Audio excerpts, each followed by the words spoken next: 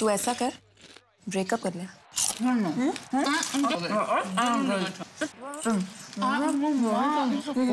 ये less bed की supply ना बंद करनी पड़ेगी। क्या बोलती है कुछ समझ ही नहीं आता है। अच्छा? पहले समझ में आता था। आ गया है नया लेस बेक्ड जिसमें फैट है 50% लेस तो खाते जाओ जितना मर्ज़ी।